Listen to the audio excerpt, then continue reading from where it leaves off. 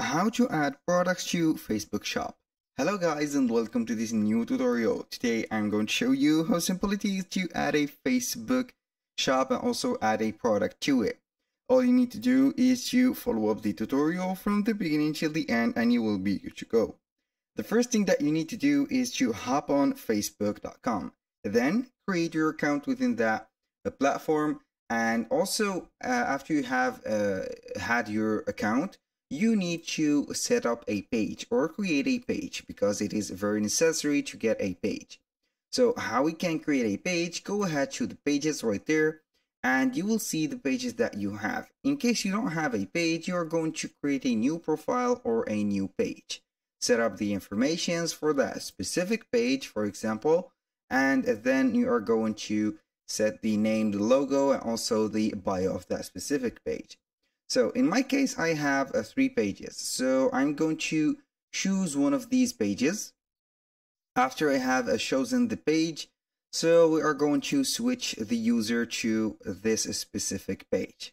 Like that, we are going to see the uh, professional menu of that specific page. As you can see, I have published multiple uh, right there products for the drop shipping uh, purpose, but I didn't set up any Facebook shop yet for it. So how we can go ahead and set up a shop? Simply we are going to the left side menu on the page right there and we are going to select Meta Business Suite. Uh, here, uh, right there, we are going to see all the tools on this page. Click on all the tools. Then we are going to search for the sell products and services. So we are going to find it right there then we are going to click on commerce. Click on commerce and here we have the uh, commerce account or the commerce manager. From here you can go ahead and set up a shop. How we can do that? Simply you are going to set up right there or click on add account. Click on it and then you are going to create your own shop. So we are going to follow these steps here we have the uh, starting uh, step. Click on next. If you are going to use or you are using any of these uh, third-party platforms like Shopify, BigCommerce, and one of these, you can go ahead and connect your store directly to them. But if you don't need or you don't need or you don't use one of these, you are going to set I don't use these platforms. Then click on next. Here you are going to set up the country. You have the list of the countries available. Uh, go ahead and set up a, a functioning country. So after you have set that, you are going to uh, click on next, choose sales channels, and here we have the uh, Smith Clothings, which is the page that we are going to use. Click on it, click on next, and here we are going to connect the business portfolio so we are going to select any of these business portfolios that we have, and then we are going to click on next.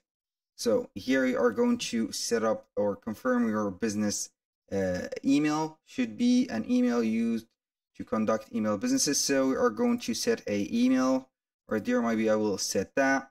And here we have the uh, phase of adding the product. So as you can see here, we have, or the uh, Facebook detected that we have uh, set up a Shopify catalog before.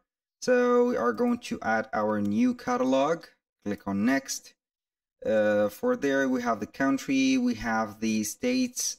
We can go ahead and select the states to ship in the USA, for example. Here we have the address type. We are going to set up here the PO box, track, street, APO, FPO, or DPO.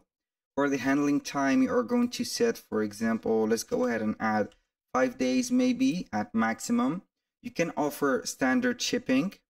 Right here, you are going to set a base rate of $10 or whatever you want.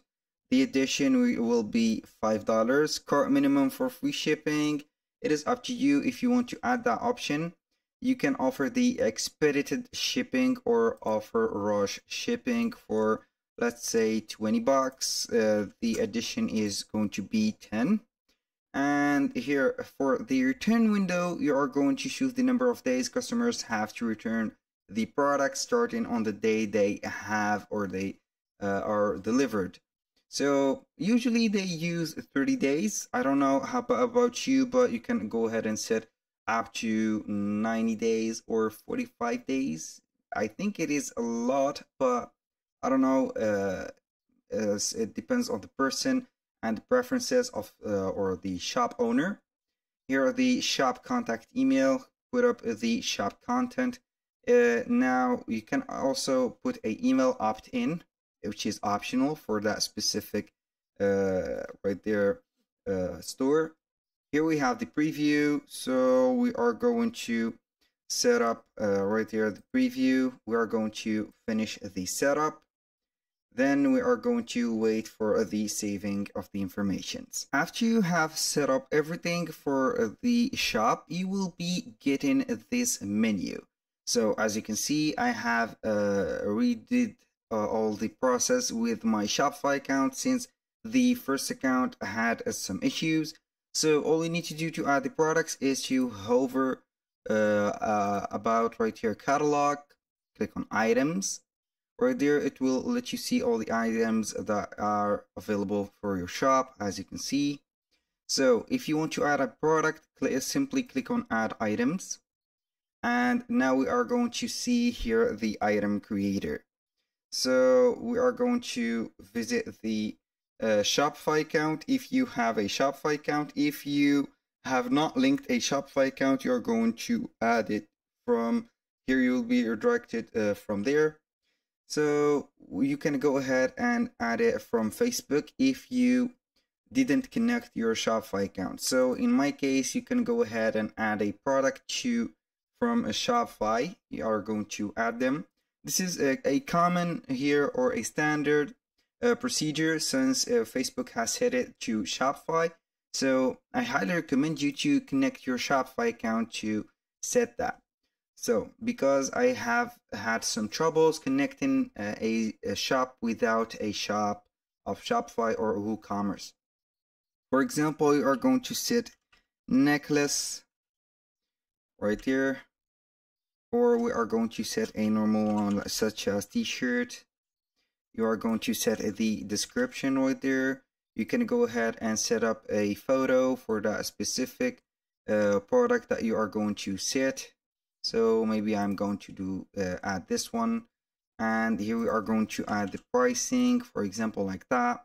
Track the quantity. You are going to set up the quantity right there. Put it like that. Also the shop location.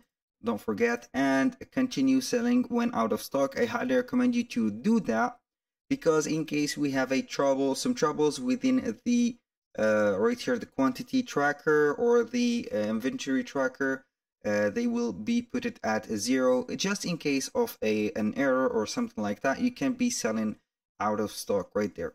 Make sure to set up the shipping as this is a physical product. For the weight i am going to set the standard of 2 uh, 0.2 uh, kilogram now we have set everything all we need to do is to click on save then we are going to see that specific product so here we are going to uh, refresh whether the page until the product or the item will be added. It will take a little bit of time, but it will be added whenever uh, they will detect or make an update within uh, your store.